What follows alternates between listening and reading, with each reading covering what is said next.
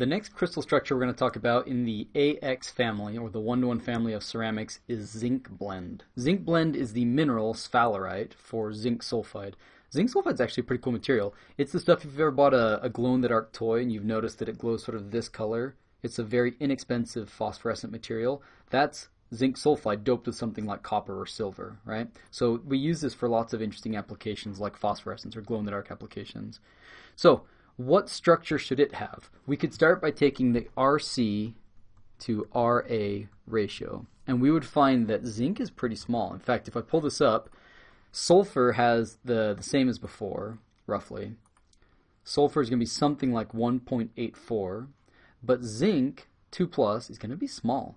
Um, maybe something like 0.6, right? So if we take 0.6, 0.6 and divide it by 1.84, we find that the ratio is something like 0.326. So what sort of coordination environment should that be? Come up and let's take a look. 0.32, that's between 0.2 and 0.4, so it's going to be tetrahedral. So it's going to be tetrahedrally coordinated, meaning it's going to have four neighbors. So let's come down and take a look at this. In the zinc blende structure, the atoms, since they're one to one, they both have to have four nearest neighbors. And you can see that. Take a look at this gray atom. It's clearly surrounded by four yellow atoms. And this yellow atom, is it also surrounded by four gray atoms? Let's take a look at this in Vesta and see a little more clearly. So I'm going to pull up several unit cells. And sure enough, if you do this, you can notice that the white one, or the yellow, is also coordinated by four gray. Can you see them? You've got you've got one, two, three, and four. So it's surrounded by all four of those gray atoms. So that's the zinc blende structure. This structure is cubic. Let's go back to one. It's a cubic crystal structure. It's cubic. If you look at it, you'll notice that the yellow atoms are located in the FCC positions, right? Just like we've seen before. It's an FCC lattice of the yellow atoms. But the gray atoms, what's happening with them? Well, they are filling interstitial sites in the FCC lattice. If you look at the interstitial sites, there are four sites on the bottom, right? Can you see that there's four and two are filled with gray atoms? You've got this atom, this atom, and that atom. Those are filling two of the four spots down in the bottom here. And you've got four more spots up above here, but only two of them are filled. So half of the interstitial sites are filled.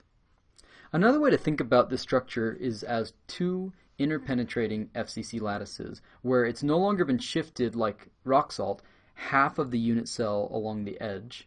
Instead, it's been shifted by a quarter, a quarter, a quarter in the three different crystallographic directions. So let's come over here to this one.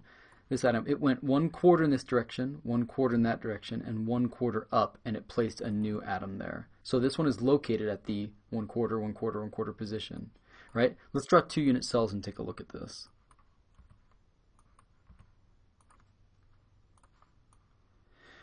Hopefully you can now see, let's take a look at this. In this structure, so we're looking along the C axis, let's go ahead and see if we can see an FCC lattice again here.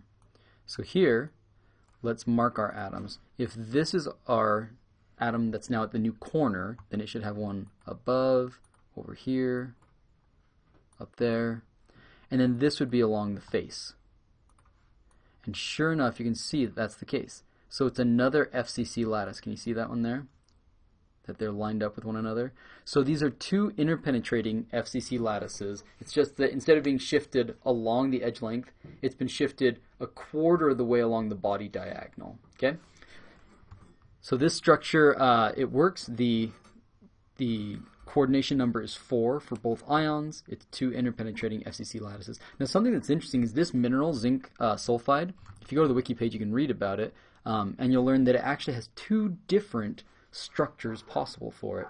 Just like carbon can be either graphite or diamond, both of those structures both exist. In this structure, you have an example of polymorphism, where multiple different structure types are available. Let's take a look at the two in Vesta. Here's one. This is the cubic zinc blende structure. You can also be hexagonal. Again, looking down on it, there's that hexagonal uh, parallelepiped, right, that forms the unit cell in a hexagonal structure. So let's draw a couple unit cells of this one. How are they similar and how are they different? So let's turn on polyhedral view for these. Polyhedral view lets you see the bonding. So you can see in this case, these are corner shared polyhedra, right? And in this case, they are also corner shared polyhedra. So these are very closely related to one another. There are some differences, right? But these are very closely related to one another. One is hexagonal. As you can see, the hexagonal lattice starting to form there. Let's show a couple more. This hopefully lets you see that sort of hexagonal lattice that formed. While one is hexagonal, the other one is cubic. Okay, so that's an example of polymorphism. Um, in both those cases, uh, both of these can exist. It's cubic at low temperatures, and when you get to about 1,000 degrees, 1,020 I think it is, it switches to this hexagonal polymorph. Okay, so those are examples of one-to-one compounds. Again, if it's zinc blende, then it's two interpenetrating FCC lattices. How could we relate the lattice parameter to the size of the ions, right? Well, we said that they touch along this body diagonal, along that body diagonal, that's where the atoms are touching.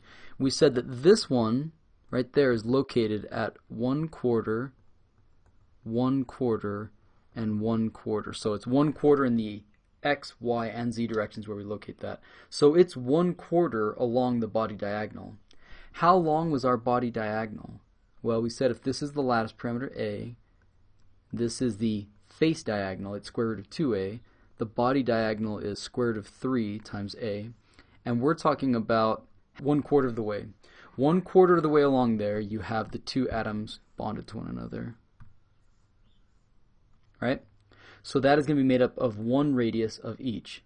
Therefore, the formula is going to look something like this. It's going to be square root of 3 times a divided by 4, because it's one quarter of the way along the body diagonal, is going to be equal to the radius of our cation plus the radius of our anion. So that's the relationship between radii and lattice parameter. Now, how many are there per unit cell? We can come back here and take a look at this. Let's look at a single unit cell of this one. How many atoms are there? Well, the yellow atoms are face-centered cubic, so we know that there are four per unit cell of the yellow atoms. And these gray atoms, they're better before because it's a one-to-one compound. And sure enough, there are four gray atoms completely inside, so it must be a one-to-one ratio. There are four of each. That works out great. And that is the zinc blende structure.